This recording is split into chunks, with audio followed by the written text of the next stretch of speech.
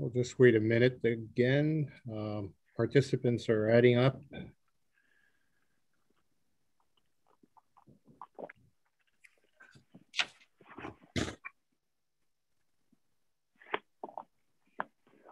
Mm.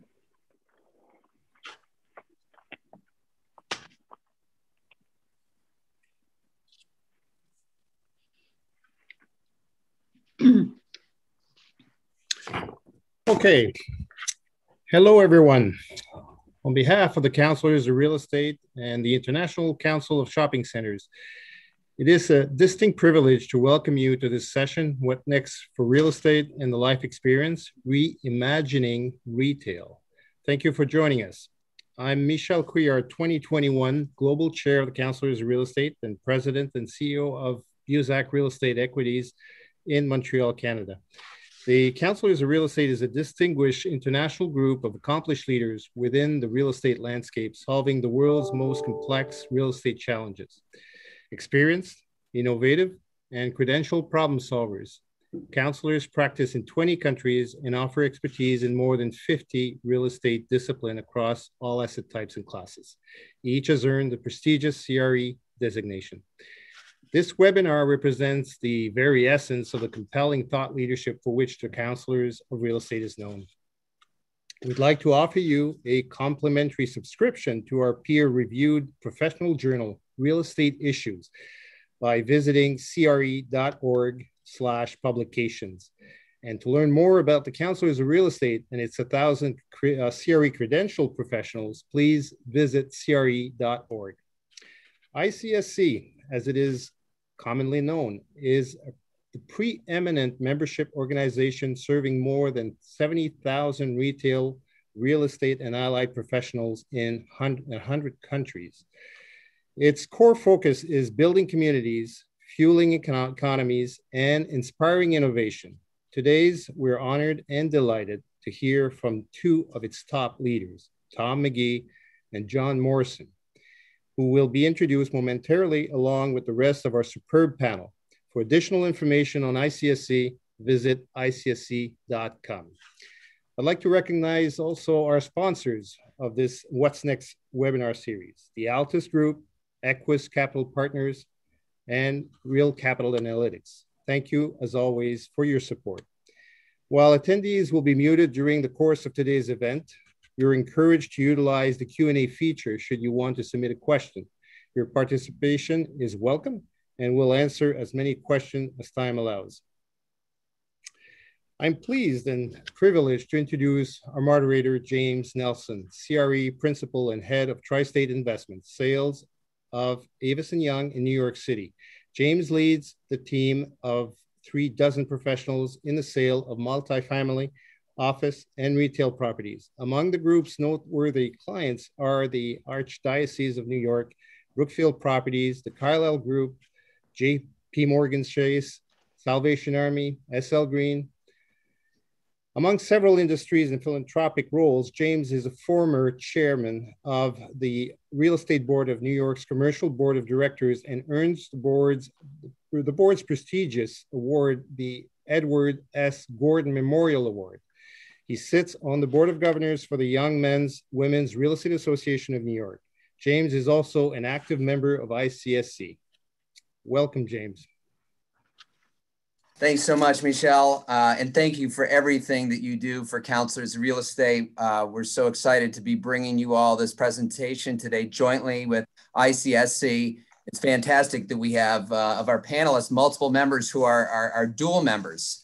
Uh, and my my only regret is that we we you know we can't be doing this in person, and I just I can't wait uh, until we uh, we get back to our in-person conventions and seeing you all in Vegas or in New York. And uh, you know I, I, know we're all hopeful that that's right around the, the corner.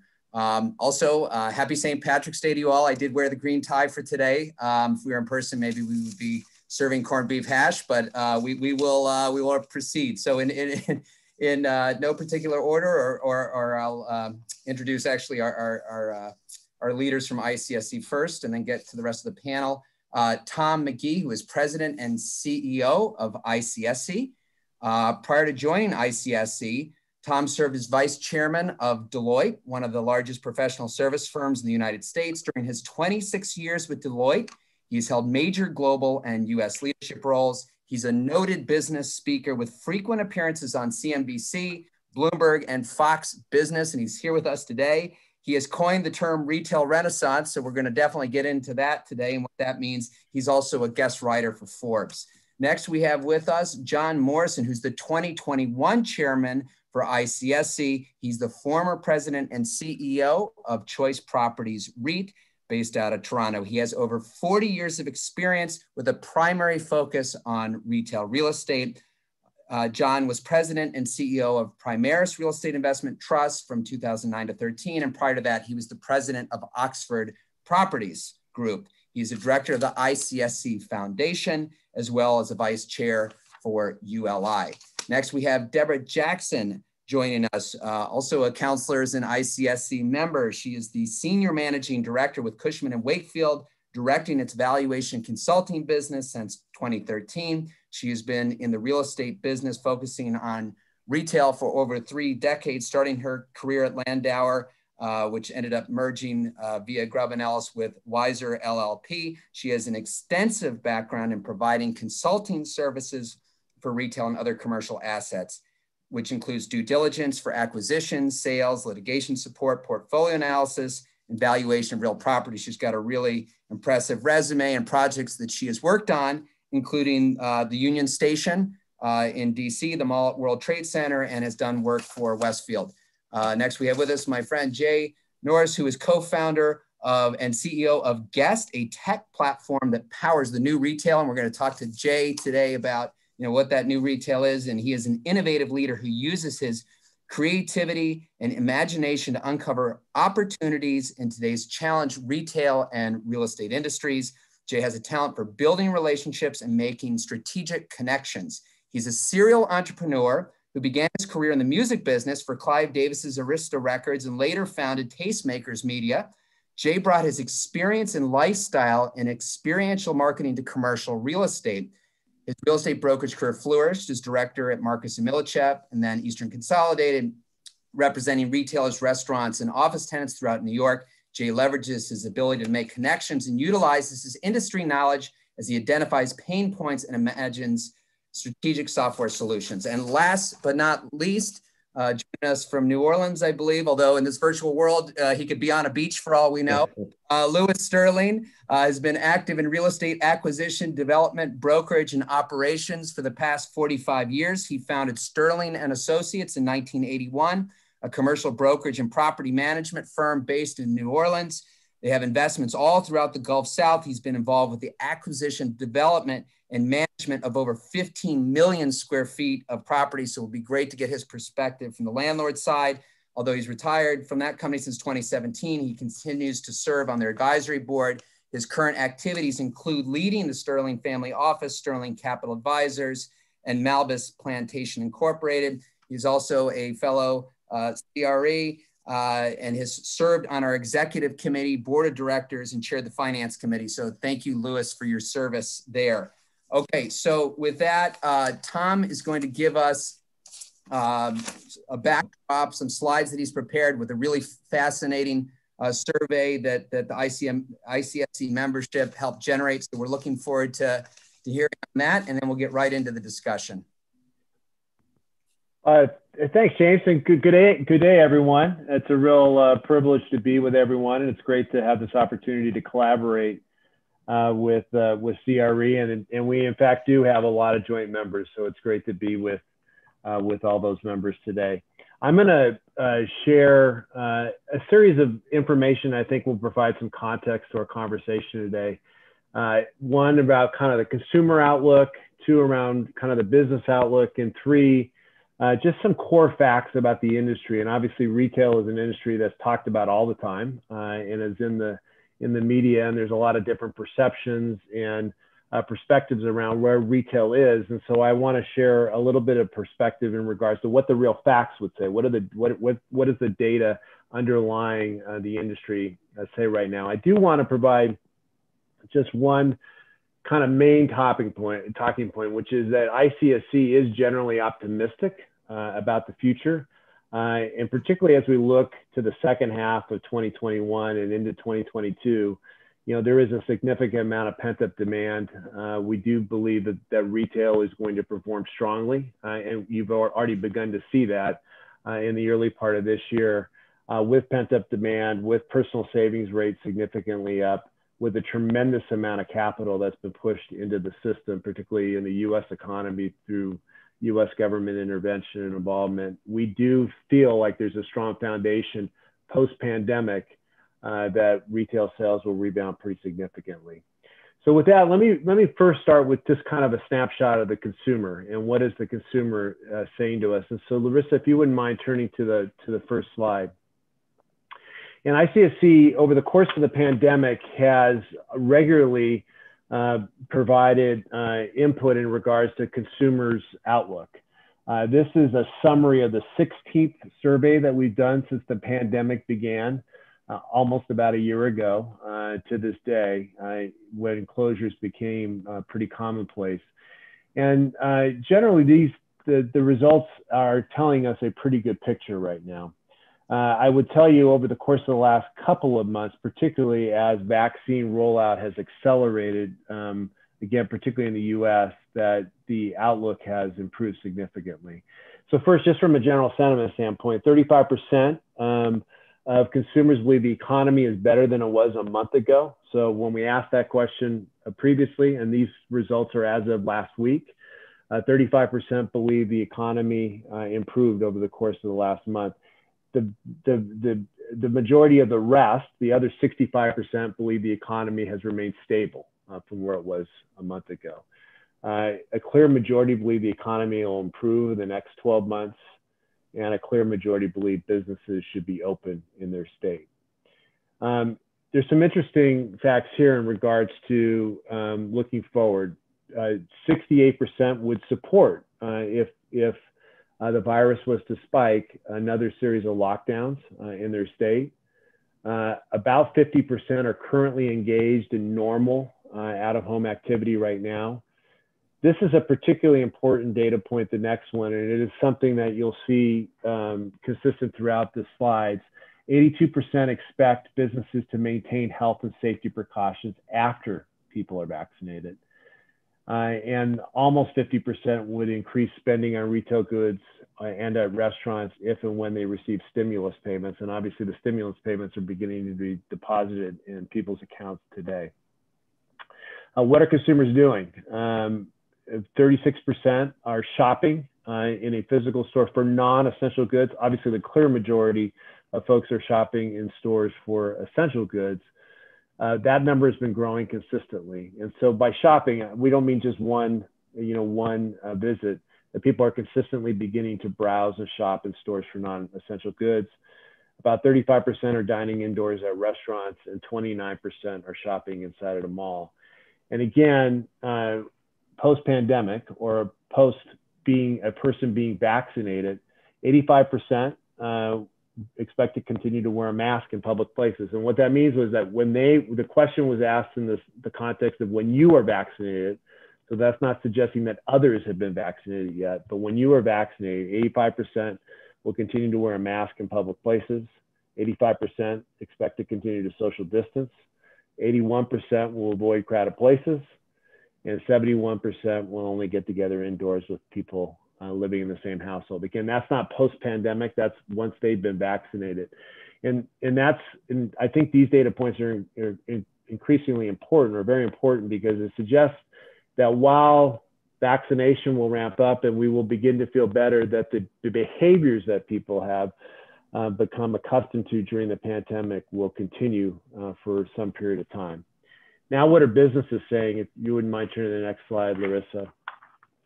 Uh, we did a survey just recently and, and did a, a, report that you can find on our on icsc.com that talked about outlook uh, for the next really two years from a retail and a consumer and a commercial real estate uh, leader's perspective. And I just wanted to share some samplings of some, some I thought, uh, interesting data points from that report. Uh, about a third of small retailers implemented click and collect. And I would have to say that all of us should be pretty amazed at the performance of small business uh, throughout the pandemic and how quickly small businesses adapted. Uh, they have obviously gone through a tremendous amount of disruption. Um, no sector, just generally, has been more disrupted than small businesses in our industry and in all industries.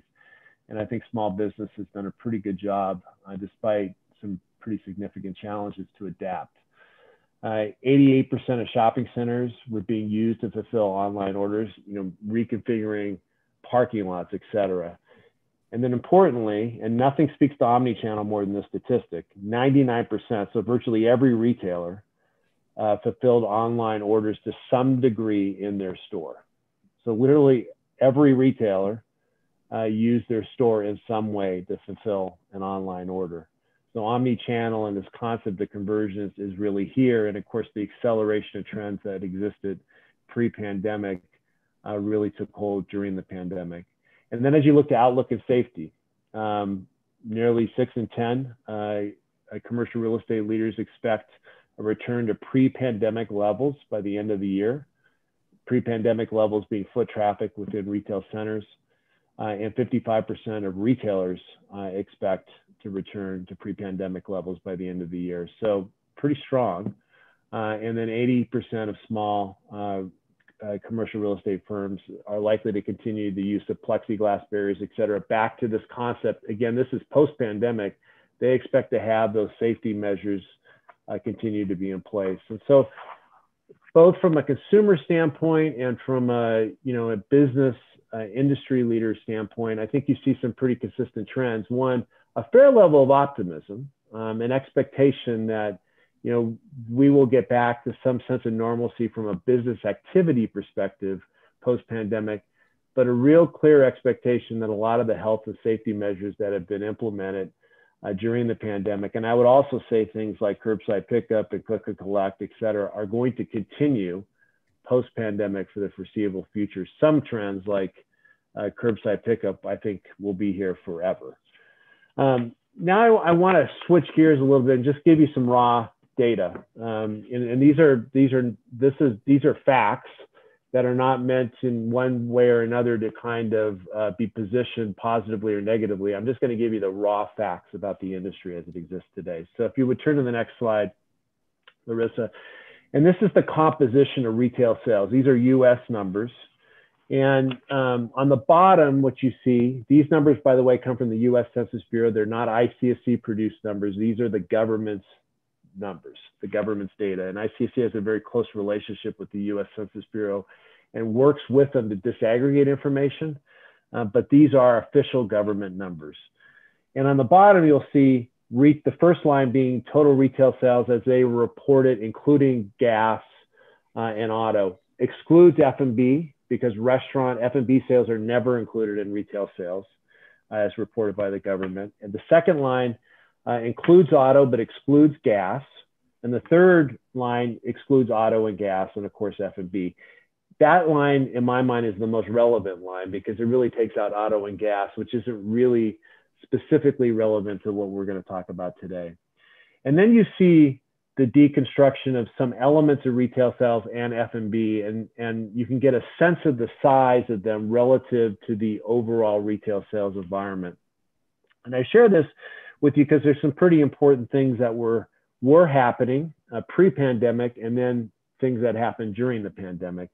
And first and foremost, you can see by that green line, um, I guess it's more of an aqua line. It's not true Irish green on St. Patrick's Day. Um, that you saw a pretty significant growth in F&B uh, from 2016 to 2019. And that was a very um, a huge, obviously, uh, trend that was happening in consumer behavior. And as I'll show in a second, a big trend that was happening in shopping centers to react to that consumer behavior. And then, of course, the bottom fell out during the course of the pandemic because of social distancing measures. Um, and then look at the bright red line. Uh, and that's true pure e-commerce sales. And so these are this is the number from the US government. And as what you what you see as a percentage, clearly e-commerce sales were growing at a fairly rapid rate from 2016 to 2019. Still a relatively small number as it relates to overall retail sales. Um, and still, even in 2020, a relatively small number to overall retail sales, about 11% of line three, but a huge growth, not surprisingly, because of social uh, distancing measures. And then when you look at the, um, you know, the gray line at the top, you can see general merchandise grew a little bit in 2020, and that's where essential retail would fall. And then look at apparel. Um, and you obviously see apparel being relatively flat for the most part from 2016 to 2019, but a huge drop in 2020. And so the point of all this is that while there's a story about retail, when you break it down a little bit into sectors, even at this high a level, you can see kind of the impact of the pandemic. And so it's not a one size fits all. It's not a one story for every subsector within retail um, at all. And then if you turn to the next slide, this gives you a sense of just physical retail, shopping centers, and the distribution of GLA, gross leasable area, and what was it composed of? And as you look back in 2014, you know, almost uh, three quarters of GLA was related to classic retail, 6.9% to food and beverage, and 19.5% to non-retail, non-food services. You know, whether it's uh, gyms, healthcare, entertainment, anything that's non-retail, non-food. And then look at 2020 and a huge change. And remember how big this industry is. I mean, we talk about physical retail that every town, every community across uh, the US and Canada, across the world. And as you look at the change in the curation and the mix of GLA over just that relatively short period of time, you see a huge shift away from traditional retail and towards F&B, now at 8.3% in 2020, and towards services, now at 26%. And that was, you know, quite frankly, an industry-wide strategy. That was something that the industry was doing to react to consumer behavior and consumer demand and they were doing it very effectively. Of course, those two at the top of the of the bar chart there, services, non-retail, non-food, and F&B, were the two most significantly hard hit by the pandemic. And so the the strategy of moving towards food and beverage and moving towards uh, services was well thought out and well being well implemented, but of course was you know, significantly impacted by, you know, the pandemic for obvious reasons. So what does that mean for occupancy, which is something that is obviously talked about all the time. If you go to the next slide, uh, Larissa. And and so this is the this is the picture again of occupancy costs, the, the, the raw facts. And as you look at the industry overall, you can see a drop in occupancy from 93.4% in 2016 to 91.9% in 2020. You know, a, a, meaningful drop, but certainly not, uh, the bottom is not falling out of the industry. Um, but then if you deconstruct it between open air and malls, you can see that the majority of that drop in occupancy has happened in the mall sector and not all malls, clearly. And we all know the distinction within the marketplace of different types of malls. Um, but that is where some of that go back to the conversation about retail sales and apparel and where we saw some of the stresses in the system that is particularly most uh, acute in the mall sector where a lot of those types of retail um, resided and then finally if you go um, to the next slide this just gives you a sense of openings and closings and we're in the time of the year right now particularly in the first quarter of, of every calendar year where there's a lot of media around announced uh, openings and closings. And I wanted to give you a picture of what you know has happened over the course of the previous five years. And as you can see, you know, back in 2016, basically openings and closings were about the same. Uh, and you started to see that uh, that gap uh, grow in 2017, close a little bit in 2018, widen significantly in 2019, and then obviously significantly widened in 2020 uh, due to the pandemic. And so there is some stress in the system, but again, go back to where we're seeing stress in retail sales, uh, the drop in retail sales and the sectors that are most challenged within the industry. And then I just thought it'd be interesting to show you kind of the decomposition of the last six months um, both in um, from August to January of, of announced openings and closings. And it's important to, to, to stress the word announced because announced means announced. It doesn't mean actually effectuated. And so, uh, particularly for those uh, closings that are presented here for 2020, that does not necessarily mean that they've actually closed the doors yet. It just means that they plan uh, to, to have some closings. And then finally, if you go to the last slide, another item that's talked about a lot is at this time of the year, particularly in the first quarter, is retail bankruptcies and the related impact upon um, store closures. And obviously, you can see um, in 2020 was a particularly challenging year for retail bankruptcies. Again, a lot of that driven by the pandemic. And you can see the impact upon store closures of those bankruptcies. So, so that's a subset of the announced store closures on the previous slide. 70 bankruptcies announced in 2020 that uh, related to about 4,974 announced store closings. You can see pre 2020, the number of bankruptcies were relatively uh, similar uh, year over year. And then if you look at what stores or what retail is being uh, uh, significantly impacted by those announced bankruptcies and store closings, you can see the decomposition apparel and footwear. Again, back to that, you know, the decomposition of retail sales, that consistent theme, very little impact upon discount department stores, grocery, et cetera. Again, not all retail, the story around retail is not all the same. As, it, as we're in the first quarter of, of, of 2021, uh, bankruptcies in, in January were actually uh, relatively um, uh, small, uh, in, not just given the environment we're in, but even relative to historical levels um, over the course of the last decade or so. There's only four announced retail bankruptcies um, in uh, in January 2021. So I shared all that information just to provide some context to today's uh, conversation. I thought it'd be useful and hopefully informative. Um, again, ICSC, and please go to ICSC.com. I know that these slides will be available on CRE's website uh, post the call today, but we have a, lot of other data and information that you're welcome to get uh, at ICSC.com and access at any time. Uh, but we are, despite some of the challenges in the industry, you know, back to the common uh, theme I, I, shared at the start, we are optimistic, you know, that as we migrate out of the pandemic and the vaccinations continue to accelerate, that retail and quite frankly, the overall economy will be relatively robust in the second half of 2021 and into 2022. So with that, I'll turn it back over to you. Thank, Thank you. you, Tom. That was fantastic. Thank you to your organization. Just incredible information to set the stage. And before we talk about, you know, where, where we're going and how to reimagine retail, we have to talk about, you know, where we've been and, um, you know, the, the, a lot of that data and survey uh, is, is real time. So we really appreciate it. And um, for our audience, and we're, we're over 500 strong right now. Thank you so much for uh, joining us today. Uh, and, and, I am looking at the Q&A function. I know we did answer some of those questions during it, but yes, uh, there will be a recording of this presentation that you, you know, uh, so much great content here that uh, we'd be happy if you shared with friends. And, and you just heard from Tom that you can go to the ICSC website to get copies of the presentation.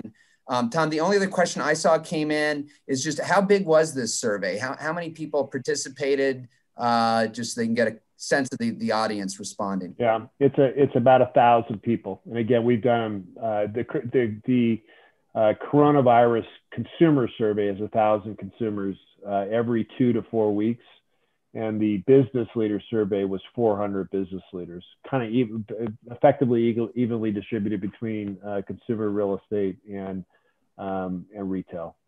Fantastic. No, that's you definitely gave us the pulse there. So thank you for that. So you know, and John, I know you had a, bit, a big part in the, the preparation of, of, this as, as well, um, being the, the, the, chairman of, of ICSC. So um, after hearing that, definitely seems that many would think that COVID was the demise of many of these retailers. Uh, but for some of these challenged retailers, COVID was actually only accelerated uh, the demise. So uh, again, while we're still trying to figure out what, what happened and then we can get to the, the future, you know, what issues do you think contributed to these pre-COVID struggles? And then, you know, how did COVID ultimately impact the, these struggling group of merchants? Well, uh, that's a great question, James. And I think, you know, when you looked at the statistics that Tom put up in terms of the, uh, the merchandise categories that suffered the most during the pandemic, it's really no surprise. But these are also merchandise categories that are um, that suffer all the time. And, and the reason I say that is because if you think about apparel and fashion, it's a very fickle industry. Um, and so the success rate over a long period of time is very challenging for, for certain retailers. Uh, so you always have to stay fresh and you always have to stay on top of your game. And, you know, two bad seasons could put you in a lot of financial um, distress.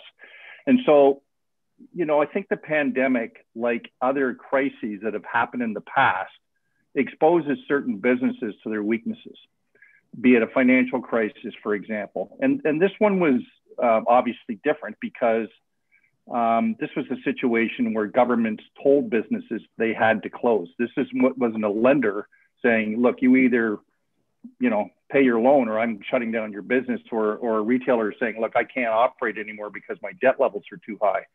Um, and so, you know, I think this pandemic certainly exposed um, the situation with a lot of retailers. I mean, Tom talked about um, the direction that retailers were going, you know, pre-pandemic, and you know, it really wasn't anything new because any retailer will tell you that they'll use whatever method possible to get the goods in the hands of the consumer, be it online, be it bricks and mortar, click and collect, delivery, whatever it takes.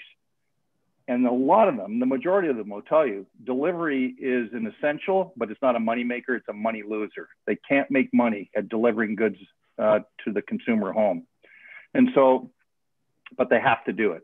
And so, you know, the pandemic has ex- obviously exposed certain businesses uh, in the retail sector um, that were probably weak to begin with, and it just accelerated everything and, and put them in the situation that they're in.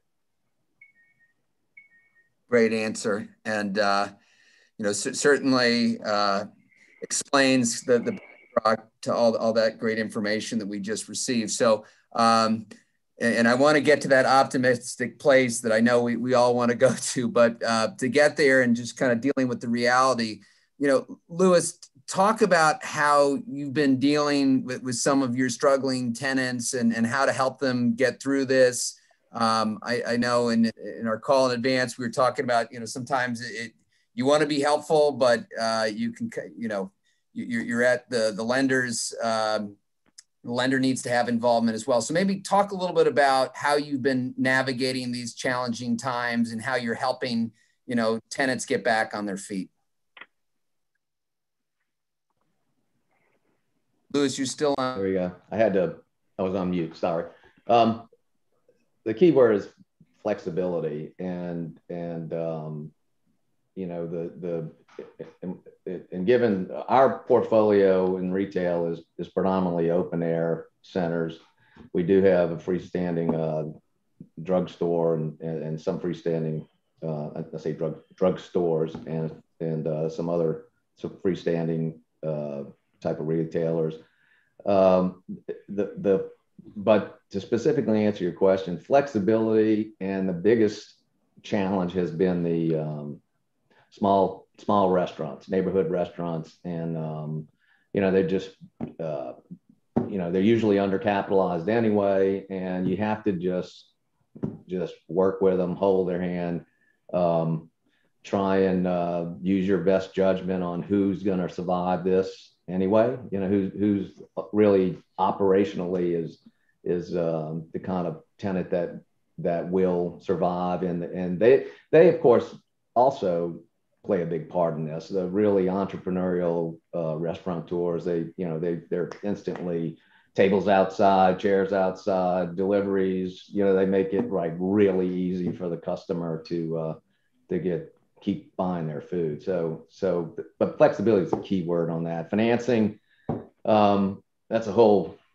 I could take up the whole program talking about we, we, we, can definitely, cir- yeah, we'll, we'll definitely circle back on that. And I, I know Jay definitely, you know, he, he's got a new technology platform, or I shouldn't say it, it's that new, but uh, on ways to, to help landlords and, and, tenants. And I want to get to that in, in looking forward. But while we still set the stage, Deb, you know, you, you do a lot of work in the shopping center space, and many of them were clearly evolving even before this pandemic. So may, maybe a little bit about that evolution, and then, you know, if you then want to help us kind of make the uh, the pivot here and talking about, you know, some of, some of the retailers who have um, repositioned to move forward.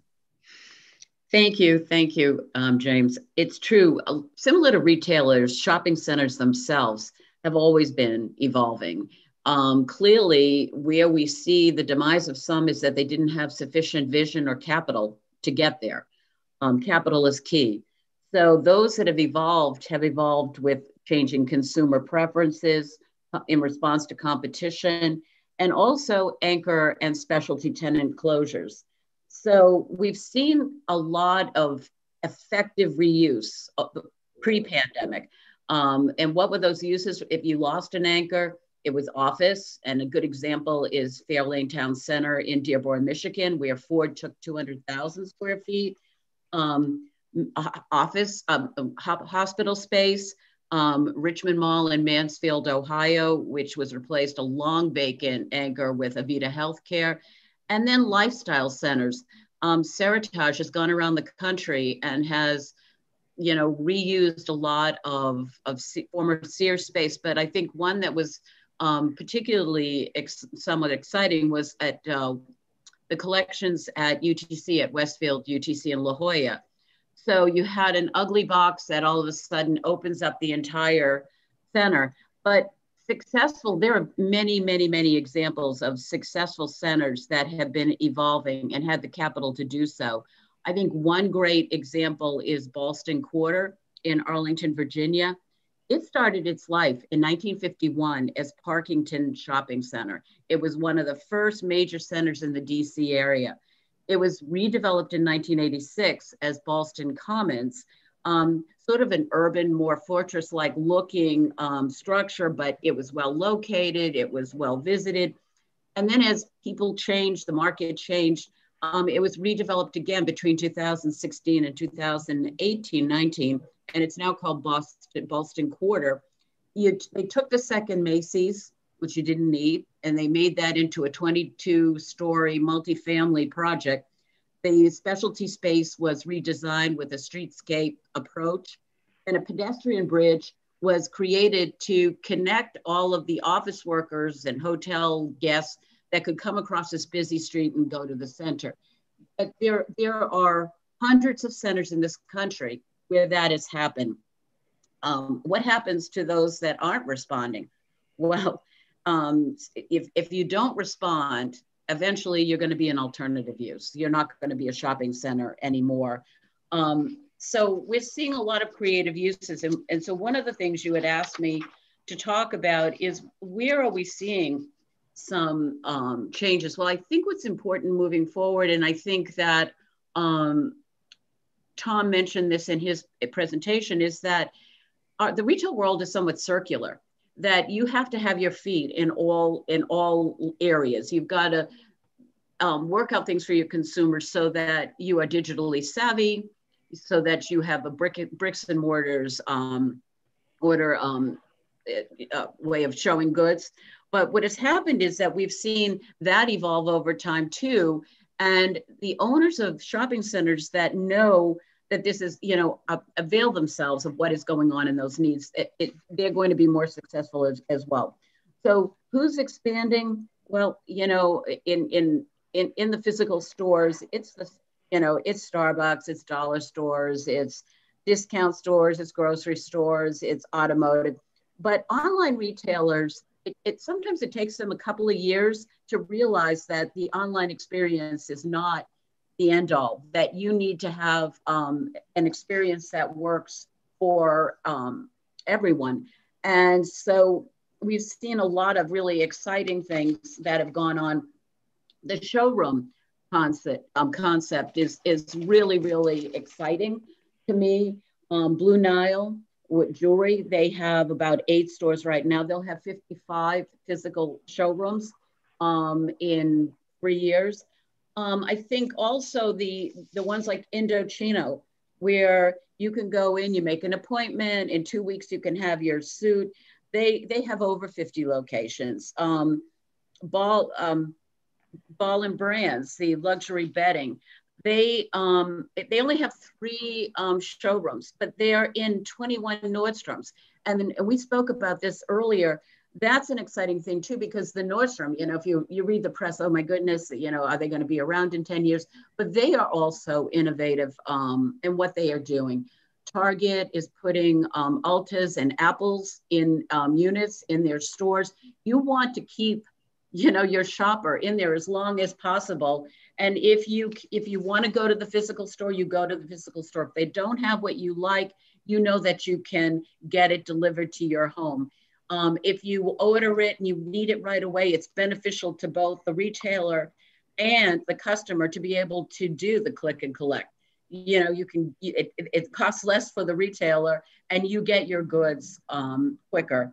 So there, I think that there are a lot of innovative things going on, but I think the key to shopping centers and retailer success is innovation. It's reimagining it's seeing the future and, and, and keeping your finger on the pulse of the consumer.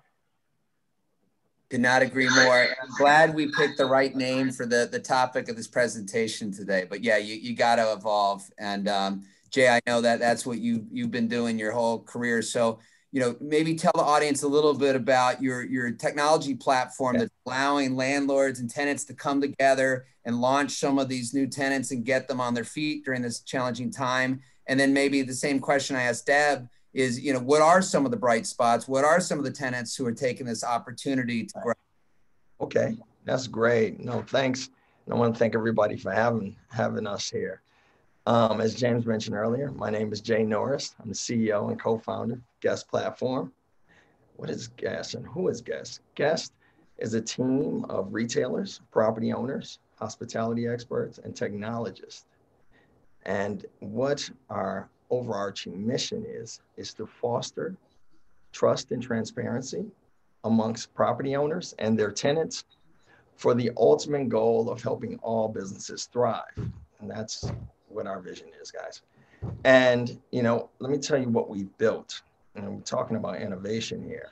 What we've built is a third party verification platform that provides um, a property owner with a view of their tenants' daily sales performance, all on one unified dashboard.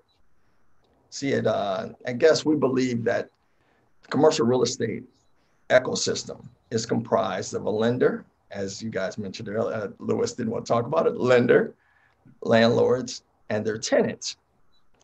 But, you know, we are all driven by consumer spending habits, as Tom mentioned earlier in his presentation.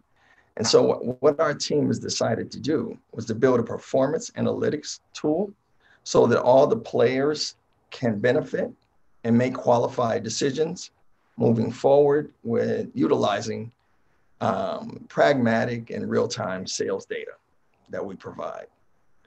Now, um, to answer your question, um, there's numerous ways these are happening. You've been hearing about pop-ups; they're happening all over the place.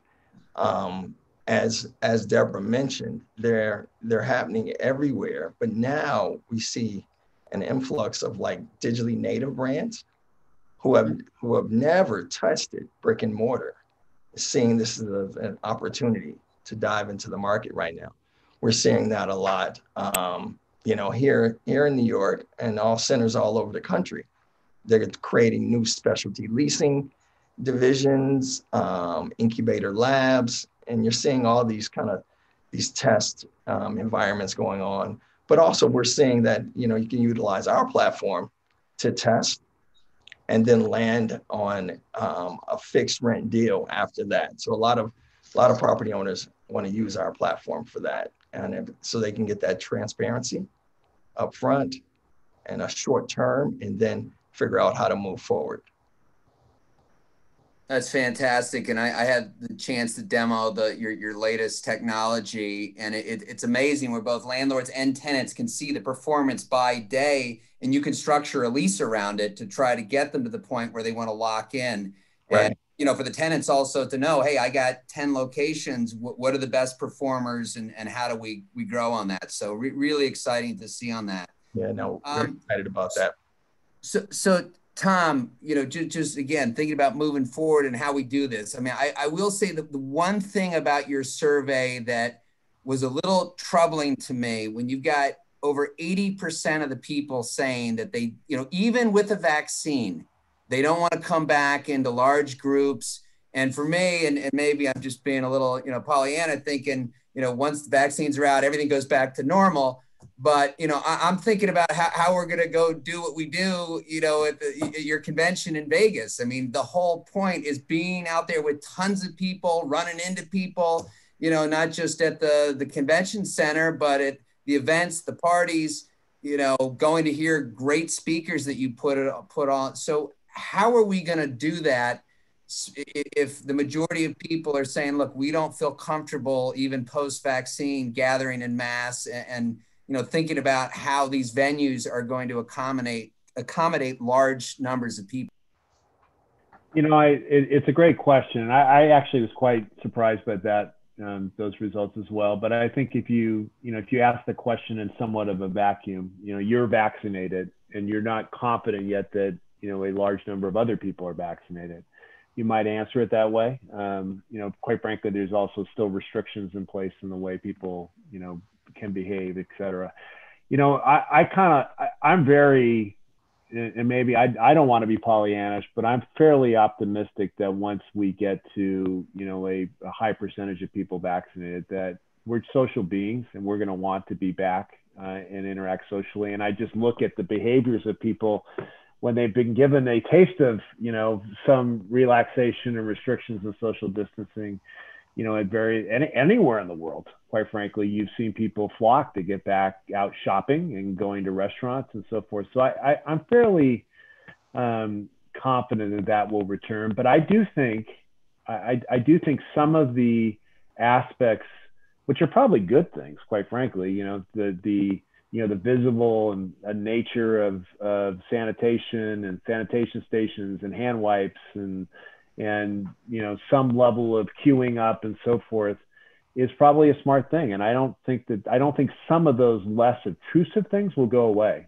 Because um, it's been a year and it's been a dramatic year. I mean this isn't just a year any old normal year. I mean we've been the what we've gone through as a society, as a global society, and I think this is all over the world, um, is is not something that's going to go away easy. That those those um, habits are not going to go away easy. But I think the broad sense of people still wanting to get together and congregate and so forth, you know, is is uh, is ever present. And I'm and again, I'm a fact. You can tell by the presentation, I'm very much a fact-based kind of guy and a data kind of guy. And I also, when I look at the long-term things, when you look at demographics and things of that nature, you know, millennial, growing millennials, beginning to raise families, you know, buying homes, those types of things, that drives consumer demand more than anything else. You know, when you buy a home, you get married, buy a home, and have a kid, that you end up buying a lot of stuff and you're starting to see the millennials do that in, in droves. And and quite frankly suburban living and those types of things have really become valued uh, throughout the pandemic. So i think all of that will contribute to you know uh, quite frankly positively contribute to retail going forward as well. Once we get past you know a you know obviously a pretty dramatic period of time in global history uh, Thank you. I, I really like that that answer, and uh, I think what would be interesting. I mean, and again, the fact that you've been doing this survey throughout, you know, to check and and see, you know, how that comfort level, you know, really shows in the numbers as we we move towards herd immunity. Uh, so yes, I'm, I'm hoping for that portion of the response. It's just a snapshot at this moment in time. So, you know, John, the other thing is, you know uh, local jurisdictions, well, really, you know, governmental jurisdictions. Um, and, and, it's great that we have another international panel with us today and thinking about what's going on in Canada versus the US. But, you know, here it's a very state by state. And I was talking to a friend this week who was down in Florida, supposedly going to a socially distanced, you know, conference. And then he shows up and everyone's in a packed room with no masks. And it's just, you know, it's you're going to see different things happen. But but how does you know? Um, I, I don't think it's it's safe to assume or fair to say that everything's going to kind of roll out the same way, state by state, country by country. So, so how much does governmental intervention play into this recovery? Well, James, I think it plays a lot. I mean, obviously, um, you know, it was the World Health Organization about a year ago that said that declared a, a, global pandemic, and none of us have been alive since there has been a global pan- pandemic before. So um, this is this was something really new, and and as a result, uh, at both the federal level, the state level, the provincial level, level wherever you are, the government stepped in right away and said, okay, then we need to lock down everything. And um, you know, it's interesting your question because I've I've seen the stories or read the stories about different parts of the United States. Florida, for example, I guess it's spring break down there right now, and you know, uh, younger people are having fun, not wearing masks. Uh, the last time I checked, the pandemic has not been declared to be over. Um, so um, we still are in a pandemic. Um, people are still getting COVID. People are still dying from COVID. Yes, people are getting vaccinated, but we're not there yet. So um, I think I share Tom's optimism that, um, you know, we are going in the right direction. Um, we're really hopeful that we can hold um, our recon conference in December. Um, and we're hoping that people that, that come are obviously um, vaccinated and or are prepared to protect themselves. But the governments um, obviously have had a lot to say about who can do business and who can't. And and and so, um, you know, you look at Canada and the United States. I mean, the border's shut down. It's been shut down for a year. Um, so you can fly back and forth, but you've got to quarantine yourself if you come back to Canada for 14 days, and you've got to stay in a hotel for three days. A lot of people don't want to do that. Um, so you know, until they start to, and the, the messaging keeps getting to be mixed. Um, it's very inconsistent, and I think it's confusing people uh, beyond belief. And until they get their act together, and I and I understand where they're coming from because the information that is coming out from uh, the medical experts that are doing all the testing and what have you. I mean, there's just this recent uh, dialogue with the AstraZeneca vaccine. People are confused about blood clots or no blood clots. Should we should I take it or not take it? Um, so um, you know, there's a lot's going to have to happen um, before things um, stabilize. You know, hey James. Uh, Great points. Sure, Jay, you want to weigh in? Yeah, you know, I was just going to weigh in and just listening to what you just said, John. I was thinking about how what we have to do is is not be reactive. And another reason why I like the, the analytics that Tom presented earlier, the data, is it's going to help us figure out exactly how to move forward, right? And that's why we like to call it performance analytics. Um, you know, I envision, we envision at Guest a world, and I was telling this to Lewis uh, the other day, that uh, and Michelle, and that you, as you're checking your, you know, your your stock portfolio every day, we're we're watching it, right? I feel as though I can see envision a world where property owners are looking at their tenant and their portfolio and their performance on a daily on a daily basis. And so essentially, just so that we can make the right proactive decisions instead of waiting and being reactive 30, 60, 90 days later, if you have the right performance analytics tools, I think we'll be making, you know, more qualified decisions moving forward. And that's all driven off of what? What you just said, consumers' habits. Right. Great point. Yeah, no, I, I really like that, and to, to you know leverage the data, mm-hmm. data driven decisions. Yep. So, Lewis, with everything going on, there's no doubt been you know disruption, but disruption also creates opportunity. And kind of thinking about the new world of retail, you know, are you still a buyer? And if so, what would you be looking to redevelop or build today?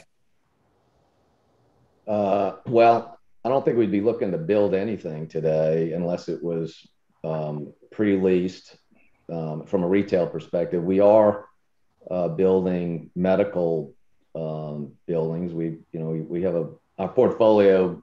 You know, historically, when we when we started the business, it was probably 99% retail, and over the years, and I, you know, we've we've migrated to probably about 50% retail, and then we have off, you know, pretty much every other kind of category. And and where we where we are redeveloping and retenanting our portfolio is a lot of uh, non-traditional retail where you know clinics or or other type of service um, you know users so i wouldn't i wouldn't we you know when times turn like they are today it's like we we kind of drill down and refocus on the existing portfolio and make sure that we do everything that is possible to keep it as healthy as possible. And and um, and so that's that's where we are on that. We you know we we're we're sort of divided up into two categories, such as uh, this presentation. One is all right, what's the future going to look like? Where we're going,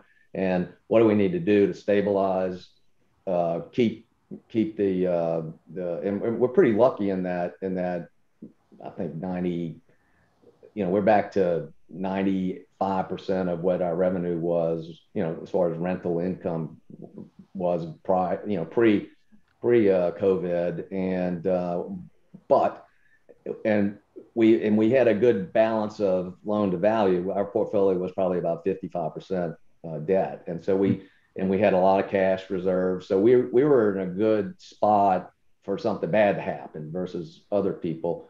Um, we didn't have very many CMBS loans. We had a few, um, which to me that's that's uh, that's not really user friendly for stress in the marketplace. CMBS is not the way to, to go. So, but but what so so from what are we doing today? Fighting the fight of the of the pandemic, which is to me we we got a, a as everyone said a, a we, we, it's not over yet. It's not been declared over and I think this fight is um, is going to be going on from a property perspective at least another year um, to, because there's still no clarity. Um, I mean, we had you know we have Belk in our in our portfolio. We had J.C. Penney in our portfolio. They both are bankrupt. I think Belk was bankrupt for two days. You know, and and um, and I don't remember how long, uh, but they're both out of bankruptcy and and but as far as the financial institutions are, are, concerned, they're they're still bankrupt. You know, they put them on the, the watch list or the, the the the big red X for at least 12 more months. So when you go to refinance a property, even though they're out of bankruptcy, it, it, they're treated as if they're in bankruptcy. So so there's all sorts of complexities in the daily fight. Now, where's the future? I think the future, and we've all touched on it. Um, we have to be prepared for smaller boxes. You know, I think tenants are um, or they're looking for flexibility now because they don't have the answer. They just know that they got to change what they're doing. So, so we know we have to be flexible. So what, what, what I think, I think parking lots are going to look different. I think you got to have, have to have more reserve spaces for pickup. You know, those aren't going to go away. I think smaller boxes, uh, uh, just you know, we were moving that way prior to COVID. I mean, we've touched on that too. There, there's, there's this whole COVID thing has has mm-hmm. accelerated a lot of the changes in the real estate industry. You know, we had already started. Uh, I think we have some Tesla charging stations in some of our parking lots that you know we had like 10 spaces boom they're all set up well i think you know that was moving that way anyway i think the the the whole dynamic of how you use parking lots uh, and it, and the whole functionality is just going to be completely different. Tenant mix is going to be different. And when you start playing with all those things, then all of a sudden you start playing with lease provisions and what do uh, you know co-tenancy clauses look like? What do I mean? It gets it starts hitting on loan documents, lease documents, uh, and and God help you when you have to deal with zoning and planning because they're usually way behind as far as because tenants and, and landlords have to be really nimble and quick and reactionary to, to what consumers are doing and consumer consumers are fickle uh, as the uh, discussion on apparel was a few minutes ago so uh, again it's a, a lot in what i just said and, uh, and you can drill down on probably a hundred of those little tidbits but uh, so i'll turn it back over to you Perfect. Well, I, I, I got to think, it, especially with all our Canadian friends on the line. I mean, I, am thinking of the Wayne Gretzky, you know, skate where the puck is going. I mean, that's really what you're talking mm-hmm. about. Is thinking, you know, where are we headed, and how do I deliver that and get ahead of it? So, um, flexibility and innovation. That's right. Flexibility and innovation is where it's going to land.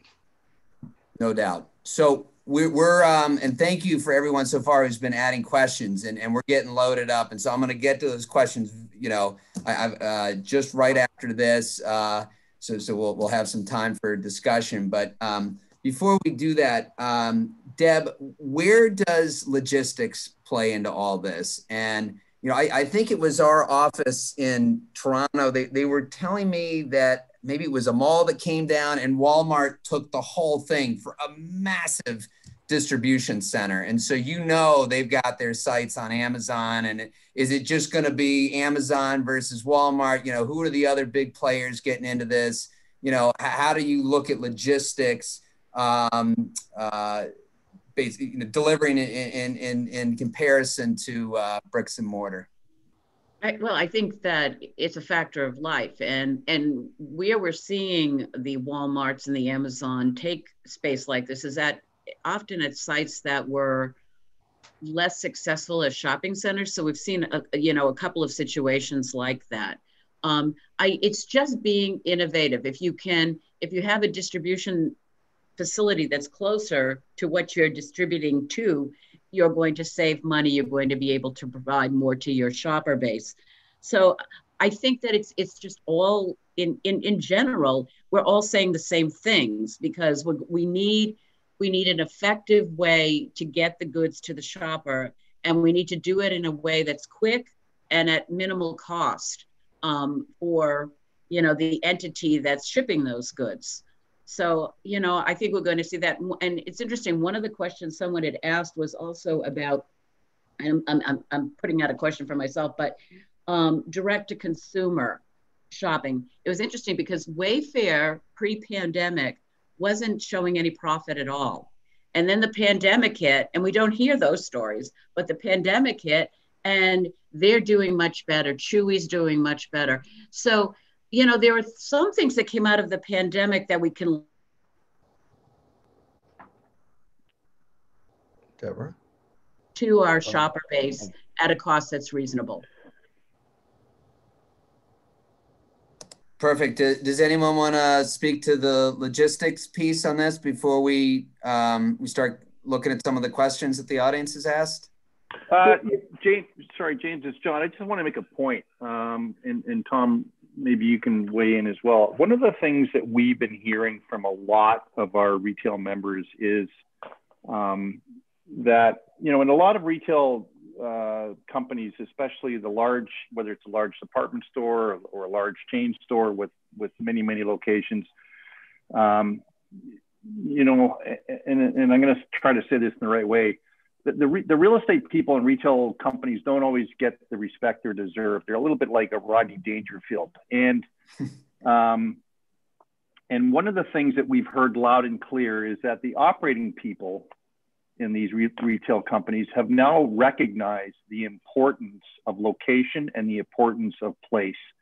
And the reason we're hearing that is because of the pandemic because of um, the fact that they can't utilize they can't utilize their stores the way they were obviously intended that they're now recognizing the importance of the location in terms of it also acting as a distribution center if you know what i mean. In other words it's click and collect or it's delivery. It's it's become uh, in the short term a depot if you will.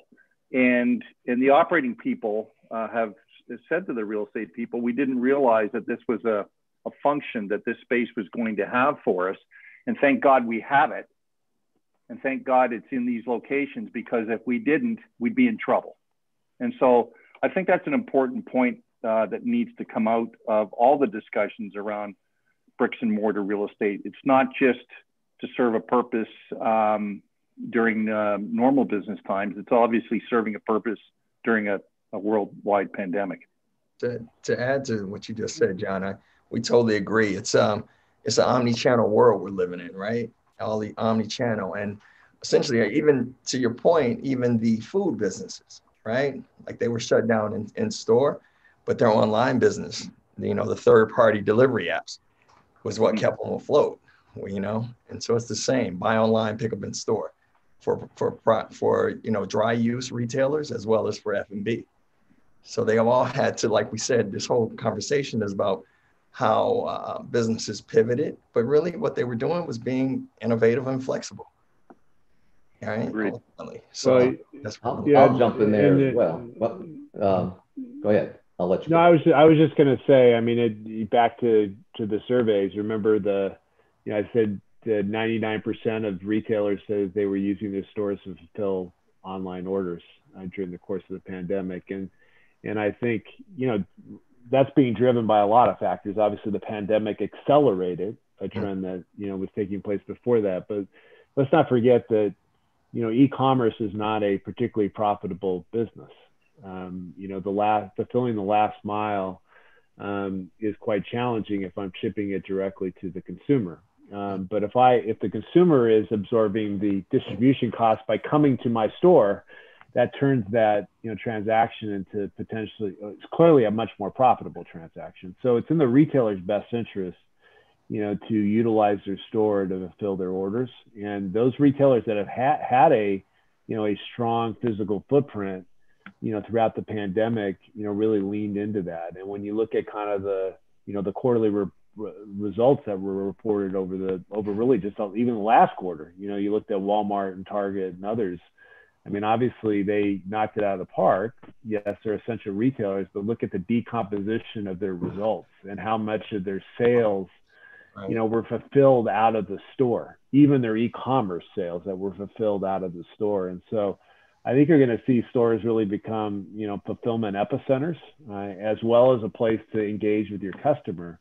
They're really becoming fulfillment epicenters, and that doesn't mean they're going to become a distribution center. They're just going to they're going to serve multi purposes, and and the pandemic brought that nothing yeah. in the last 20 Yeah. years made that more obvious in the pandemic. So You know, it, it's funny. I, I we had um we had some uh, clients uh, speaking about the uh, saying that you know certain assets were um, kind of declining on the way into the pandemic, and now it's like you know it's been a catalyst. The pandemic was like inevitable.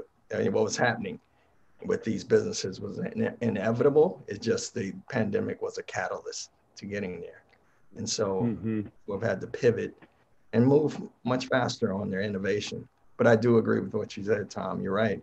They're going to become these epicenters where they'll have buy online, pick up in store, fulfillment, um, but they still have to have the right store experience, you know. And I think that there are a lot of businesses who really master the user experience and that efficiency on the, the clicks business are the ones that are going to prevail. Mhm. Uh, I wanted to to to uh, jump in here about the just the e-commerce. Uh, prior to the pandemic disruption, which we we were watching the clicks and and bricks um, as it evolved, and and every year, you know, e-commerce was growing and growing and growing and growing, and it was eroding, uh, you know, traditional retail sales. But in our mind, it was it was never going to shift 100%. You know, you would always, but we didn't know where it would be. Where would end, would it end up being at 10% of the retail, or 15, or 25, or 50, 50? We didn't know. This pandemic basically accelerated everything to where it was at some point during it, it was up, it was 100%, and then it became, then it started starting to creep back, and then, but so so it the good news is we we we we the good news from a where does the e-commerce end up is by having everybody have to figure out how to deliver their particular goods to the consumer they're finding the the, the problems. And i'll uh, again i'll contend that it's probably uh, you know uh, it'd be a wild guess if i said well i think it's going to end settling up in 25 75 as far as retail you know how much is e-commerce versus bricks mm-hmm. but it's not going to put the bricks out of business. It's going to it's going to change the function of the bricks, how many stores uh, retailers have, and size and shapes, and and and lots of other delivery issues. And one of the things that we've found is that certain things just don't deliver. For instance, you can deliver pizza and you can deliver chicken wings, but you can't deliver a really good steak. It doesn't deliver well. Yeah. And and if you, it it just doesn't show and french fries don't show up well i mean it's just there's certain things that that just don't deliver and, and let now technologically maybe somebody will come up with a way to have a, a you know a rare steak delivered and it still tastes like when they bring it to your table but it doesn't happen today and right. and uh, I mean, my my specific instance, my wife orders basically raw hamburgers because she's got to stick it in the microwave and she doesn't want it overcooked when it gets to the house. Well, it still doesn't taste as good because it's anyway. The point is, people are finding out not everything delivers, and that's and and, and unless they scientifically come up with a way or a contraption or which people, you know, we're inventive and creative, and you know, somebody will figure it out maybe, but um, plus socially, um, I think we touched on that. I mean, uh, you know, I always, you know, ask my wife shopping questions because she's the shopper, and and and um, it's like she's not going to say, "Hey, I'll," you know, all her friends come over and sit around the desk and look at a computer and go shopping and have lunch at the house. It's not happening. They're going to go out and they're going to have lunch and they're going to have a you know, just like guys go play golf, they go do what they do. And so it, it's a social, we're social beings and we have to have a place to go be social. So anyway, so e-commerce. Well said. Uh, uh although your point of delivering the food, I'm thinking of those autonomous uh, vehicles that I've been thinking about that, that have the, you know, the, the grill on, on board or, or uh, on site. So I'm, I'm sure they'll, they'll figure it out or yeah. have drones deliver. But yeah. I, I, I, do want to take a step back because we got to start getting through some of these questions because we're, we're almost at uh, 2.15. We got 15, 20 minutes left. This is a big one. And we, we have a lot of comments coming in on this wavelength and maybe part of the reason why, you know, those 80% numbers of people having concerns and, um, you know, maybe we need Dr. Fauci on, on, on the webinar for this one. But the, you know, the, the point is that there is uh, a fear of different mutations of the strains. And, and, one of the comments even said, "Hey guys, you're talking about the future and the vaccines. Like we're we're still in the eye of the storm on this thing. So, you know, how do, how do we you know how do we reconcile all this and you know I, again I, it's like planning for the future i mean all we can do right now is look at the data what we have you know what's going on with the vaccine rollout but like you know, I don't know, a new strain shows up. I mean, what do, what do we do with that? You know, are, are we going to be better prepared next go around? I mean, I, I, think part of your survey said that maybe the screens, you know, would still remain in the restaurants, but you know, h- how do we how do we deal with the unknown? Wow. Well, who wants uh, to take a stab at that, Tom? Sure, you go ahead. If you could, if you want to answer the unknown, you go for it. you know, like like my thing is Jay did say he was a futurist no in his, uh, his bio. there's no crystal ball, right? All we can do is is is really lean back on the data we have now. Like you said, we're not Fauci, right? And we're you know we're tuning in and making sure that we trust the data that we're receiving and just make those kind of qualified decisions moving forward. But we don't have a crystal ball. But business is still going on. I just want to, you know, let's let's just land there. Let's not that business has ceased. Business is going on, and certain businesses are, are flourishing. And I feel as though the ones that are flourishing are the ones that have been innovative and they have really looked at the consumer as the real brand and said, I'm going to meet you wherever you want to be. Wherever you want is where I'm going to end up at that channel. And they're meeting them there. And so I feel as though, you know, no matter what, well, I mean, as long as we're still breathing, right? And we all get vaccinated. Um, I think that you know we'll be better prepared if this ha- if, if, if this event happens again in the future. Hopefully, we're willing, it won't. But no, hopefully it won't. I, I, I would, I would agree. I think we're better prepared if, if you know, if this uh, accelerates. But I think the, I think the concern is a, is a real one, um, you know, and, and legitimate because the one thing we've learned over the course of the last year is to, that there's going to be lots of twists and turns along the way, and we don't exactly know what the, you know, next month's gonna, gonna hold out. You know, my, and that would be my you know my biggest concern is the premise of the question which is i think if if the vaccine we continue down what what the path we're on right now and it looks like the vaccines are going to get uh, distributed and accelerated, and we're going to reach some level of mass vaccination at some point, you know, in 2021, you know, then I think we have we have a legitimate position to be fairly optimistic. If something happens along that journey that changes that course, then I think yeah, I think there's a lot that could you know that could uh, that could trip us up. And I, and my biggest concern would not be in that environment. Quite frankly, would not from a business perspective, wouldn't be the largest businesses. It would be the stress on the small business community. And and the small business community has gone through so much over the course of the last year and and I think uh, you know the level of innovation and entrepreneurship has been remarkable. Um, but it takes capital um, at some point, and if if if this was to if the path was to change and the variants were to stick and so forth, then I, I, I worry about the impact on small business, which is a huge part of you know economies around the world. But I choose to be optimistic that the vaccines will you know will will hold. But I think you got to be prepared for the unexpected because that's what we've learned. Yeah. I, I see Michelle's jo- joining us uh, uh now, and I, I, you're welcome if you have any thoughts on the topic. I mean, w- one other variation of this question is asking about, you know, how do builders plan for the, the future? Are there going to be, you know, governmental regulations, code regulations? So, you know, again, on the topic of kind of planning uh, for, for the unknown. So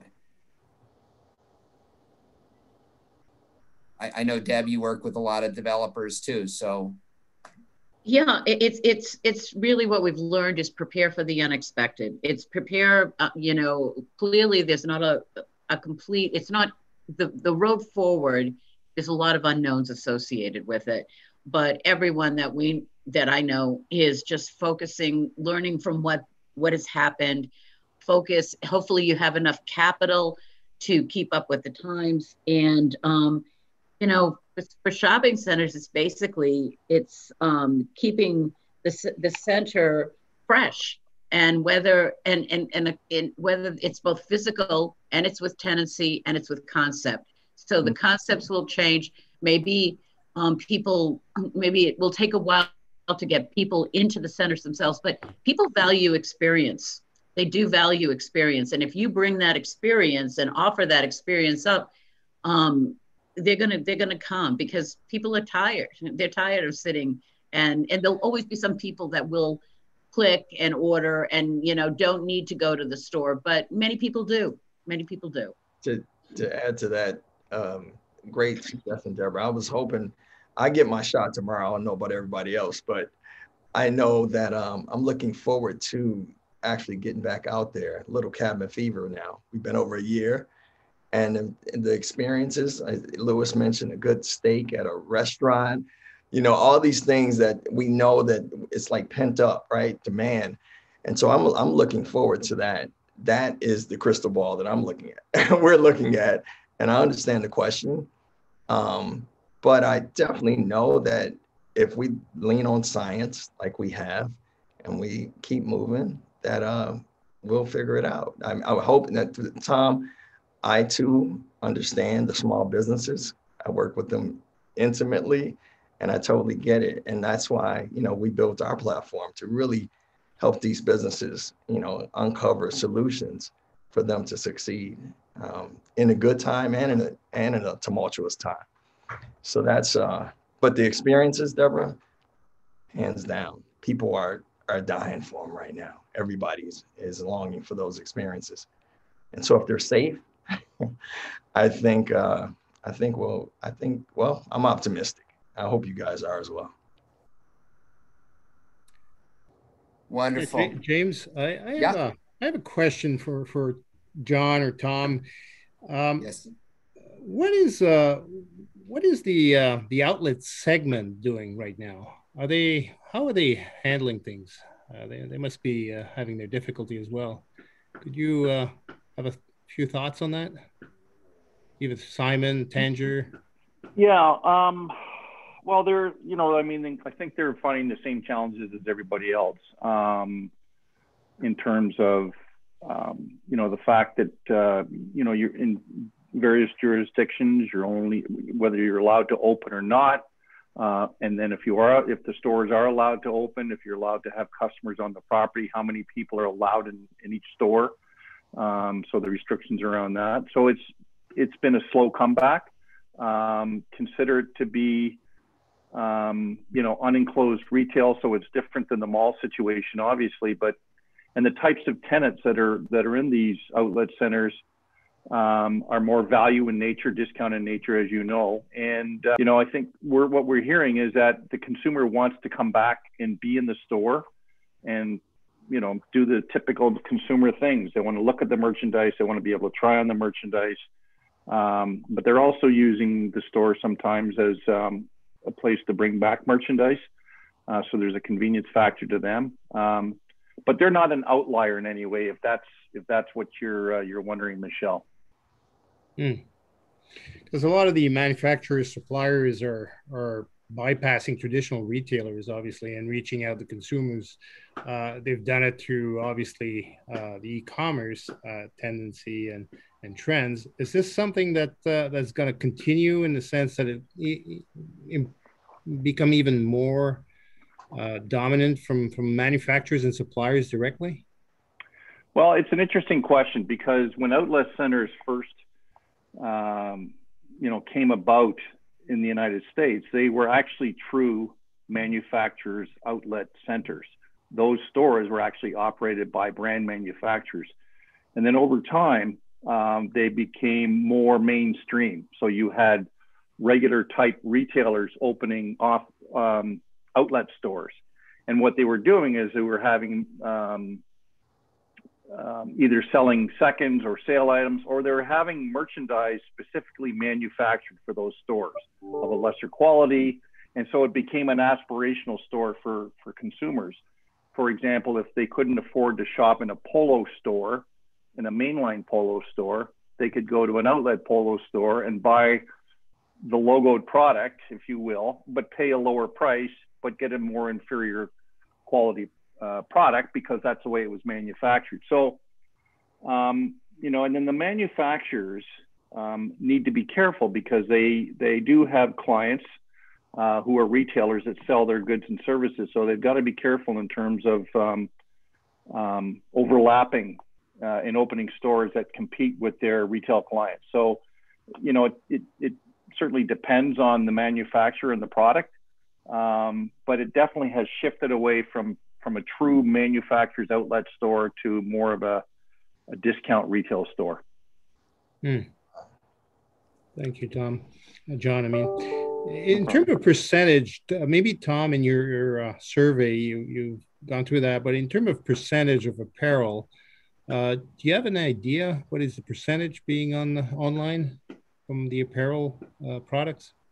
You know, I don't have it, uh, you know, on the tip of my tongue, I, but it's certainly an increasing percentage uh, yeah. for sure. Yeah, mm-hmm. there's no doubt. I mean, that's part of obviously what's driving, um, you know, the decrease in, in apparel, you know, right. sales, sales that a lot of that's going e-commerce and obviously Apple, I'm sorry, Amazon moving into the apparel uh, industry is, has, you know, had an impact on it as well. I mean, part, partly, quite frankly, also just remember part of the shrinking apparel numbers is that there's just, there was there might have just been too many, too much, yeah, know, competition in apparel. I mean, it was everybody was opening up apparel, and there was just too much, and so there's a consolidation in that part of the industry as well. So I think it's a combination of factors. I wouldn't look at the decrease in apparel sales and say that's a direct correlation to online growth. Some of it's just a needed uh, contraction and rationalization of how much was out in the marketplace to begin with. But in fair, there is an increasing amount online. I, I just don't know the exact percentage of it. Mm-hmm.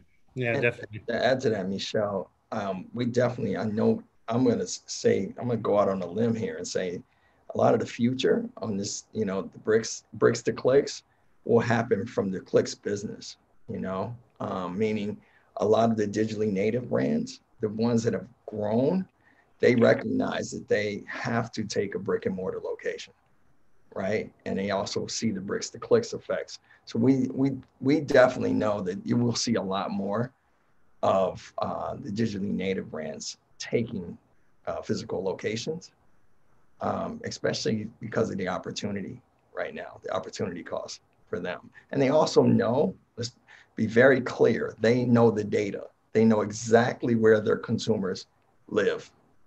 You know, they know exactly where they live because of the online sales. So they could create a roadmap and a strategy, essentially nationally, on where they need to be without getting any advice. Jay, do you, have, do you, have, an idea of, of um, what are the rates uh, uh, of the tenant providing uh, retail sales to their landlord? What are the rates? Yeah, what, what is the? Oh, I I can't say that. All I do know is that a hundred percent of all sales that are reported to the property owner come from the tenant. That's all. You know what I mean? Like meaning the the the tenant is the one providing sure. the property owner for 30 days or a year later. And so that's why we created our platform as a third party okay. verification, you know? And that, and and and that deal could be doesn't have to be a percentage rent deal, it could be any rent concession or any type of deal.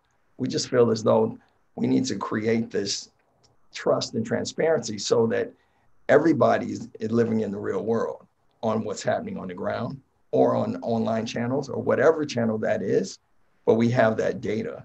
And like I said, I'll bring it back. That data, that's the consumer spending habits mm-hmm. and where mm-hmm. they're spending, mm-hmm. where they're spending.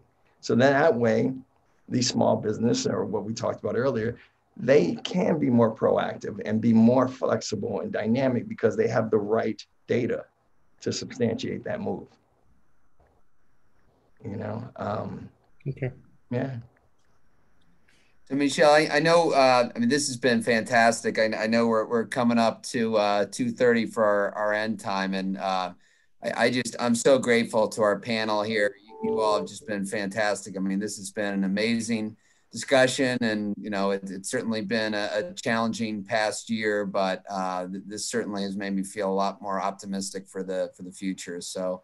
Um, again, as I said from the beginning, I, I hope I'm going to be seeing you all very soon um, in one of these upcoming conventions, uh, and uh, I have no doubt that we'll we'll get there soon. So, Michelle, do you want to take us out with any last thoughts? Uh, well, again, I, I, I concur, obviously, and I echo. And this has been a great, great session. Uh, and I'd like to thank you, uh, uh James, to to for your quality of moderation here to moderate this uh, this this session. I'd like to thank so much uh, our panelists and our speakers, Deborah, Tom, John, Jay, Lewis. Uh, there's no question that retail is always evolving and, and we need to evolve with it. Uh, by the way, on demand recordings are available for most uh, What's Next session, including today's. And uh, I encourage everyone to visit cre.org slash webinars for information on other topics and thought-provoking programs in development, including the special presentation of partnership with the American Hotel and Lodging Association in May on May 20th. Until then, and on behalf of the counselors of real estate, thank you for attending What's Next for Real Estate and Life Experience. Thanks for having us. Thank you. Thank you, everyone. Thank you again. Have thank a great you. day.